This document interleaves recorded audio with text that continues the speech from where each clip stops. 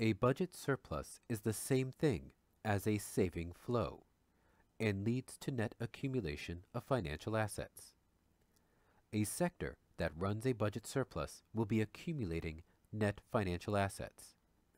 This surplus will take the form of financial claims on at least one of the other sectors.